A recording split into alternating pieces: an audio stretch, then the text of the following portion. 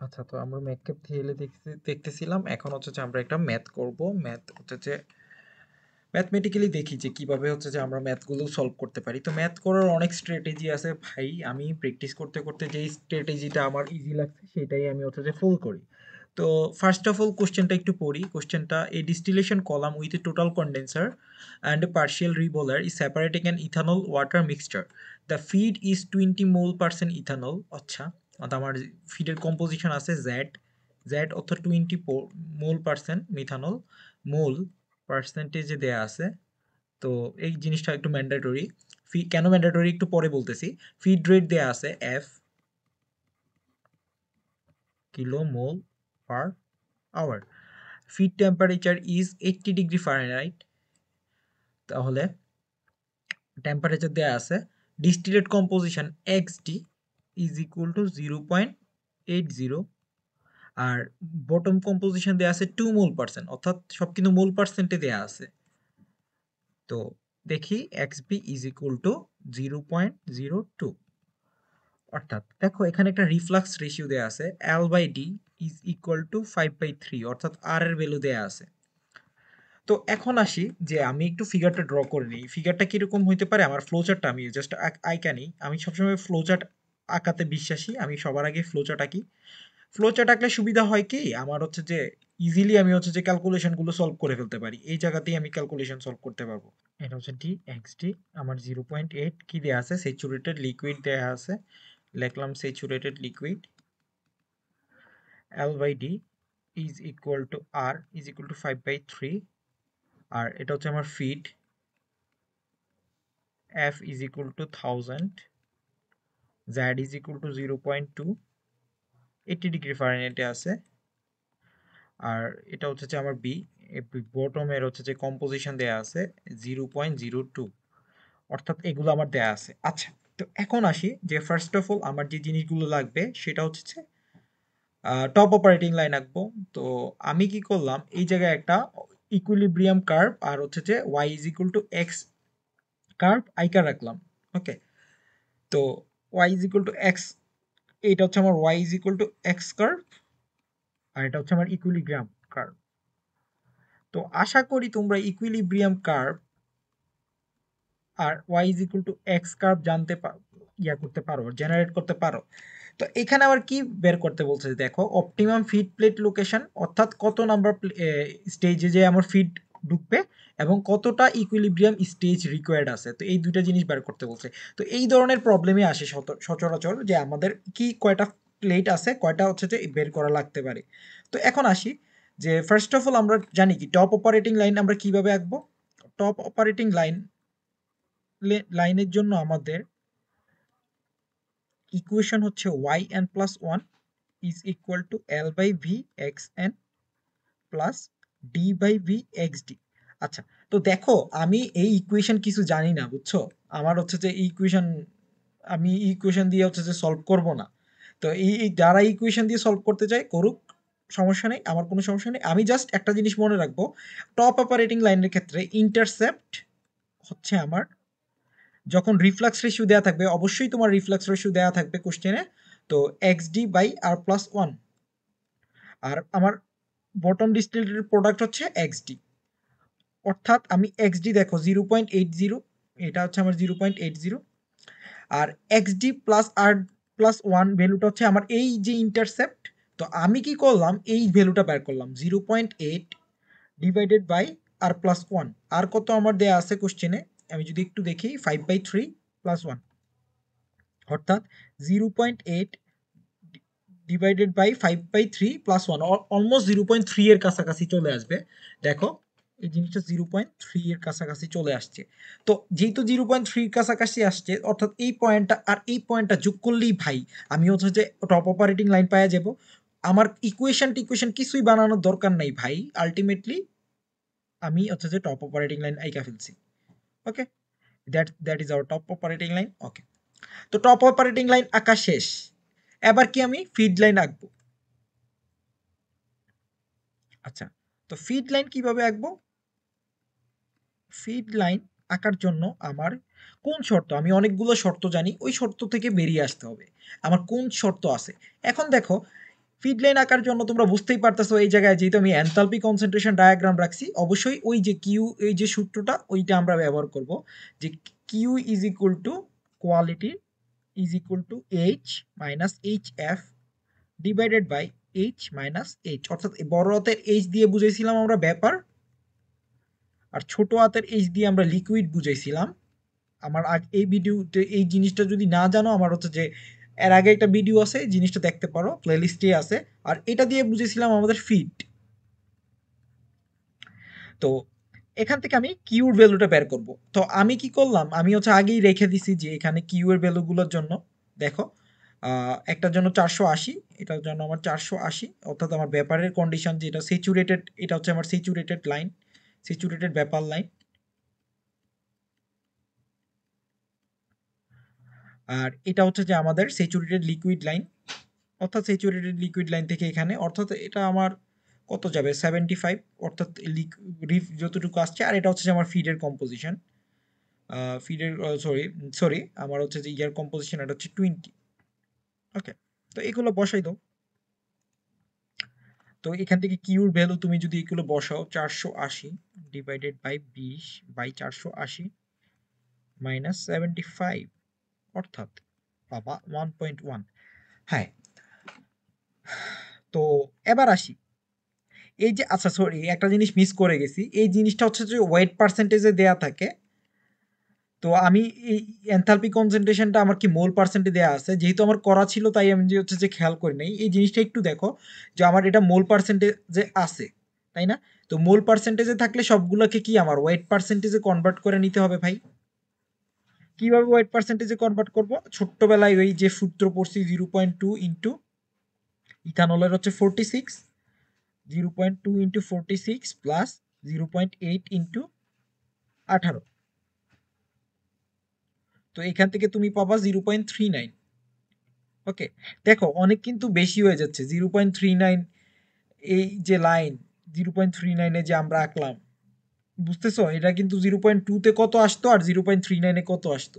এই জিনিসগুলো একটু খেয়াল রাখিও। এই জিনিসগুলো হচ্ছে মোস্ট প্রবাবলি আমাদের ম্যান্ডেটরি যে এই যে এই চারটা রিড করার সময় অবশ্যই আমার কি ওয়েট পার্সেন্টেজে কনভার্ট করতে হবে ওকে তো আমি যেহেতু পেয়ে গেছি ফিড লাইনের হচ্ছে যে কিউ বের বের করে ফেলছি কিউ অর্থাৎ এ ওয়ান পয়েন্ট ওয়ান ওয়ান পেয়ে গেছি, তার মানে আমার স্লোপ আমি বের করতে ফেলতে পারব। আমার স্লোপ কি হবে? আমার ফিড লাইনের স্লোপ হবে Q is equal to Q minus one এই জিনিসটা।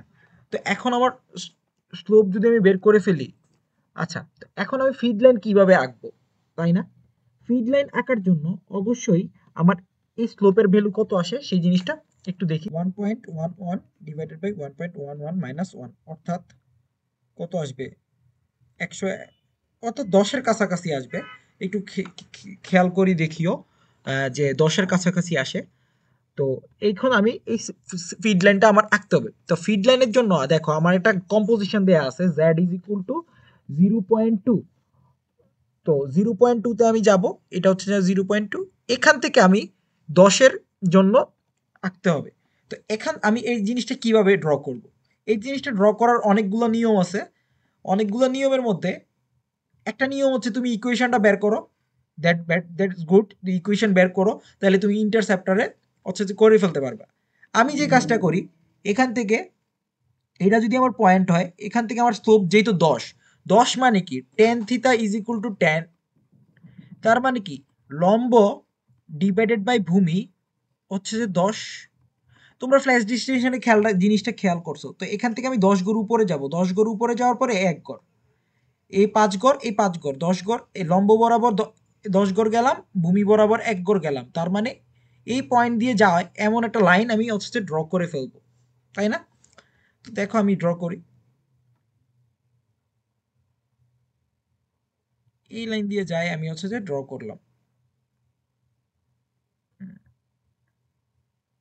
আচ্ছা আচ্ছা এই যে বোঝানো অনেক টাফ আচ্ছা তো এবার আসি। যেহেতু ড্র করে ফেললাম, এটা হয়ে গেল আমার ফিড লাইন ভাইয়া। এটা হচ্ছে আমার ফিড লাইন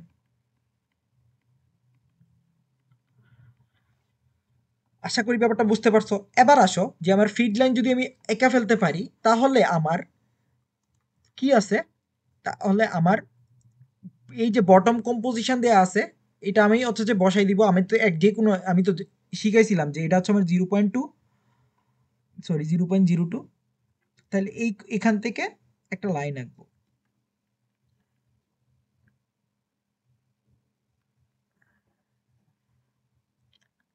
এটা হচ্ছে আমার বটম অপারেটিং লাইন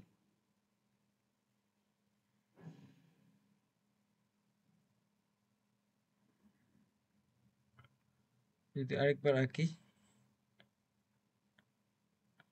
আচ্ছা। তো এটা হচ্ছে আমার বটম অপারেটিং লাইন এখন আসো, যে আমার ফিড স্টেজ কল্পনা করতে বলছে। তো এইবার আমি ফিড স্টেজ কীভাবে করতে পারব? তো আমি ফিড স্টেজ কি করব? এই ফিড আমি তো আগে জানি ফিড স্টেজ কীভাবে গণনা করে? জানি না, এই যে আমরা জানি। দেখো, একটু মার্কারটা চেঞ্জ করে নিই আচ্ছা ধরো এটা হচ্ছে আমার, এই পয়েন্টটা হচ্ছে যে এক্স বি তো এখান থেকে কি করব? এখান থেকে গণনা শুরু করব। এভাবে যাব এভাবে যাব। দেখো, একবার ইকুইলিব্রিয়াম কার্ভ লাইনে রাখবে, এরপর হচ্ছে যে ভার্টিক্যালি নিচে নামবে। তো এভাবে হচ্ছে তুমি গণনা করতে পারো। তো আমারটা মনে হয় অ্যাপ্রক্সিমেটলি আসবে না। কারণ হচ্ছে যে আমি জানি না। আমি, আমার হচ্ছে যে গ্রাফে তোমরা যখন ড্র করবা তখন অ্যাপ্রক্সিমেটলি চলে আসবে। আমি জাস্ট প্রসিডিউরটা দেখাইতেছি যে এই এই প্রসিডিউরে হবে। এখানে আসলে বোঝানো টাফ সোজা আসতেছে কিনা সেটাও বোঝানো টাফ তো এই যে এখানে আসার পরে তুমি আর হচ্ছে যে এই লাইনে যাবা না, বুঝছ? এখানে আসার পরে তুমি ডাইরেক্ট এই লাইনে যাবা। অর্থাৎ এটা আমার টপ অপারেটিং লাইন ছিল। আর এরপরে কিন্তু আমার এই এটা হচ্ছে ফিড লাইন ফিড লাইনের পরে কিন্তু আমার বটম অপারেটিং লাইনে যাবে। ফিড লাইনের পরে আমার হচ্ছে যে নিচে যাবে না। আশা করি ব্যাপারগুলো বুঝতে পারছ?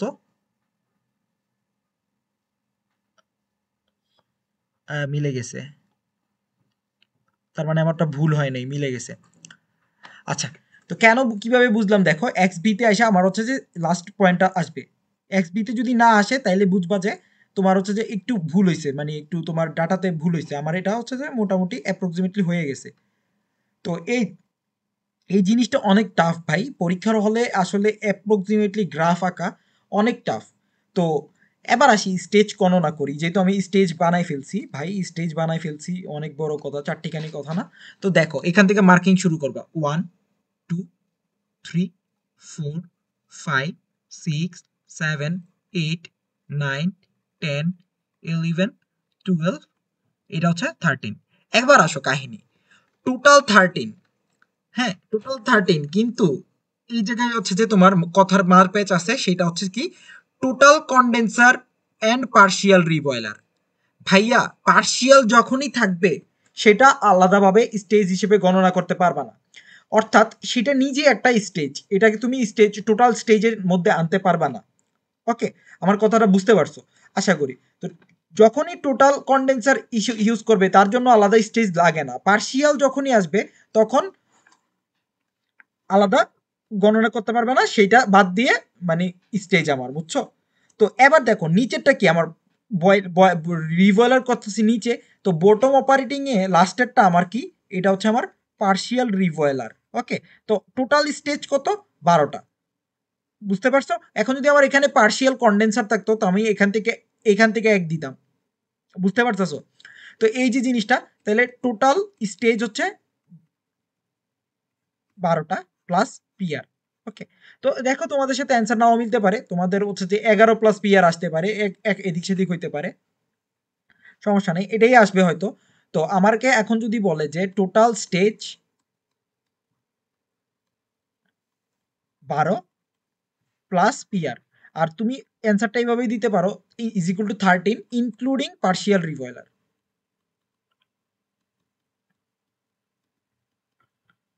partial revealer তো এটা হচ্ছে আমার একটা গেল। এবার আসি অপটিমাম ফিড লোকেশন ওকে তো অপটিমাম ফিড লোকেশন তুমি নিচের থেকে হিসাব করতে পারো। এই জিনিসটা কিন্তু তুমি উপর থেকে যে আনছি আমি, এই জিনিসটা কিন্তু তুমি নিচের থেকেও দিতে পারো যে এটা একটা স্টেজ এটা একটা স্টেজ এটা একটা স্টেজ তখন হয়ে যেত এইটা।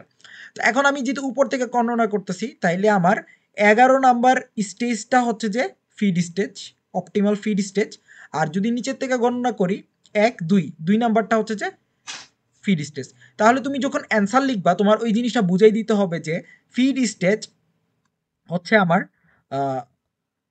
from top eleven stage is our optimum feed stage okay যেহেতু ফিড ঢুকতেছে, দেখো, এই এগারো নাম্বার স্টেজে ওকে এই জিনিসগুলো একটু খেয়াল রাখিও। এই তুমি সব অঙ্ক করে দিয়ে আসলা, কিন্তু জিনিসগুলো ভুল ধরলে তো আর আলটিমেটলি হবে না। তো এলিভেন স্টেজটা হচ্ছে আমার অপটিমাম ফিড লোকেশন আশা করি ম্যাথটা বুঝতে পারছ? ওকে আবার তুমি জিনিসটা এভাবে বলতে পারো যে দুই নাম্বার স্টেজ হচ্ছে আমার নিচ থেকে দুই নাম্বার, এটা হচ্ছে আমার এক, নিচ থেকে দুই মানে ফ্রম অ্যাবাভ পার্শিয়াল রিবয়লার দুই নাম্বার স্টেজটা হচ্ছে আমার ফিড লোকেশন এভাবে বলতে পারো, তুমি অনেকভাবে বলতে পারো, জিনিসগুলো তো একটু রিলেট করার চেষ্টা করো, তাহলে কিন্তু খুব ইজিলি রিলেট করতে পারবা তুমি আসলে জিনিসগুলো।